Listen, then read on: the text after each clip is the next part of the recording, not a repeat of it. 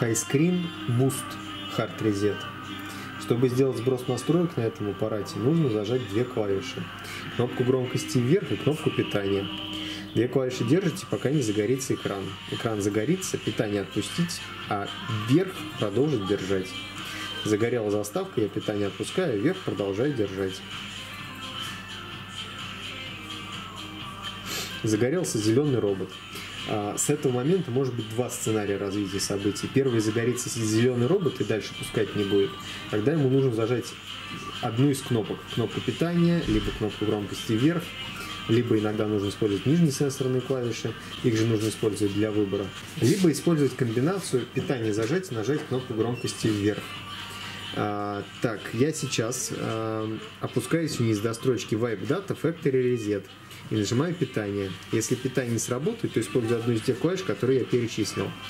В следующем меню вы опускаетесь до строчки Yes Delete у User Data. Я сейчас сбрасывать не, не буду, я выберу любую из строчек новую. Вам выберу строчку Yes Delete у User Data. Я выбираю ему строчку новую, вы выбираете строчку Yes Delete у User Data. Он сделает сброс, внизу нужно дождаться нескольких строчек, одна из которых будет Data Wipe Complete. Это будет означать окончание сброса. Он перекинет вас в предыдущее меню. Здесь вам нужно выбрать первую строчку Reboot System Now. Это вам перезагрузит телефон. Два момента, которые стоит э, рассмотреть перед тем, как все это делать. Первый, значит, э, этот сброс удалит лишь мелкие неприятности, графический ключ, какие-то пин-коды мелкие, мелкие ошибки приложения, мелкие вирусы. Для чего-то более серьезного нужна прошивка. Взять ее можно, кстати, на официальном сайте.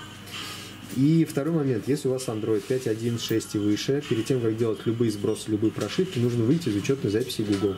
Меню настройки аккаунта, кнопка с тремя точками в правом верхнем углу, удалить аккаунты.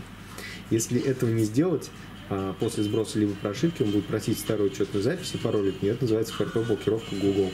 Ее убрать крайне тяжело, иногда невозможно. Но у меня на этот счет есть плейлист FRP Google. Смотрите, может быть, найдете решение для себя там. Вот. А, возвращаемся к телефону, выбираем ему первый пункт Reboot System Now, телефон перезагрузится, сбросит свои настройки, а после этого будет включаться минут там 5-10 и включится чистый, как с витрины. Ставьте лайк, подписывайтесь на канал.